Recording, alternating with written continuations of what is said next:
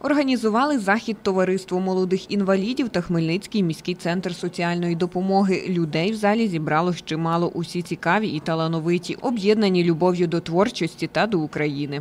Я сьогодні го- з радістю хочу виступити, бо сьогодні велике свято, День незалежності.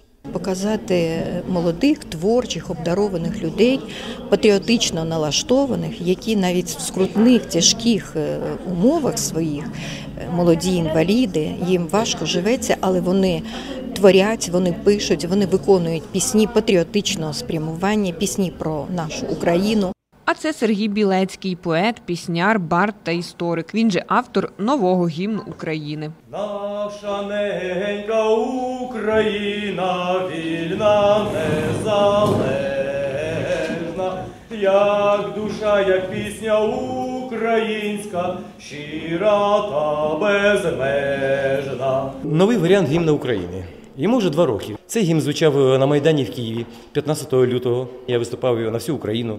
Презентація гімна України в столиці України, в Києві. Потім через місяць я співав в перекопі до наших е, при- прикордонників козацтва українське приїжджало в гості. Поет-пісняр каже, старий гімн вже своє віджив, а українцям потрібен новий без закликів до війни та насилля. Чоловік цілком відданий своїй творчості та Україні. Тож цей нелегкий час своїми піснями підтримує захисників держави на східних кордонах. Слава Богу і слава Україні! А я всього навсього писар.